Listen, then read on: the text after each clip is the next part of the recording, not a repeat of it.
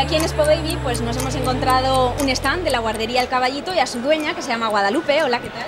Hola, ¿qué tal? Bueno, es la primera vez que venís aquí a, la feria, imagino, ¿no? Sí, porque es la primera vez que hay un espacio para, para los bebés y los niños. Sí, es la primera vez, vinieron a verme a la guardia, me invitaron y bueno, creo que es una buena opción para publicitarse. Eso es una oportunidad, ¿verdad? La gente viene, se interesa, imagino. Que me conozcan, que conozcan los servicios que tenemos y bueno, pues todo lo que ofrecemos.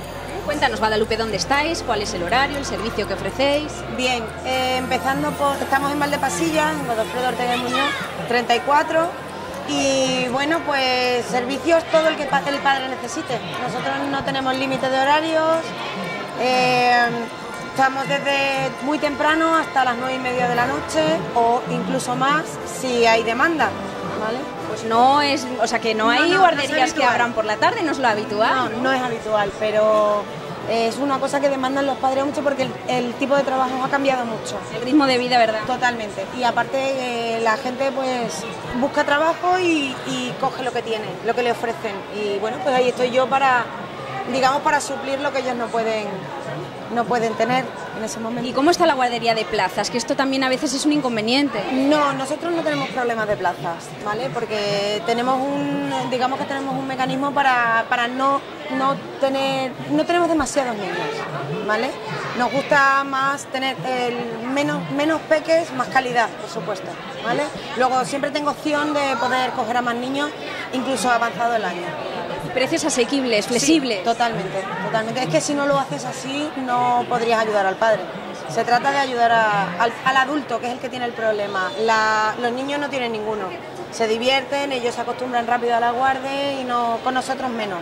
¿Tenéis niños eh, desde qué edad? ¿Desde bebés? ¿Desde muy chiquitito?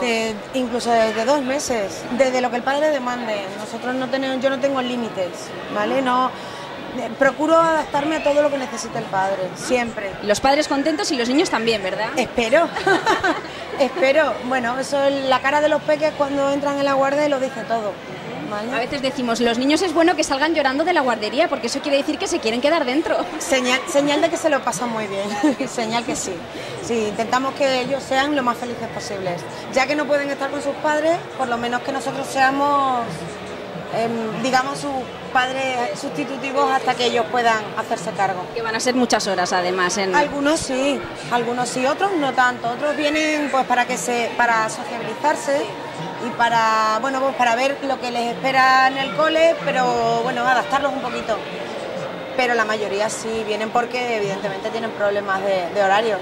También es interesante que las guarderías tengan un proyecto educativo, en fin. Sí, también lo tenemos, por supuesto. Lo que pasa es que nosotros hacemos primero la autonomía del peque, primero la autonomía y la independencia. Y luego ya una vez que ya han adquirido eso, entonces ya sí se les puede enseñar ciertas cosas. que antes de ponerles a hacer una ficha, tienen que aprender a sentarse. Y a, no aprender, sino a mantenerse sentados. Que tengan, que tengan como un foco de atención. ¿vale? Por supuesto que sí, como todas, supongo. Bueno, pues Guadalupe, que, sea un éxito vuestra presencia aquí en Espoboda, el Guardería El Caballito, y ha sido un placer hablar contigo. Igualmente, gracias.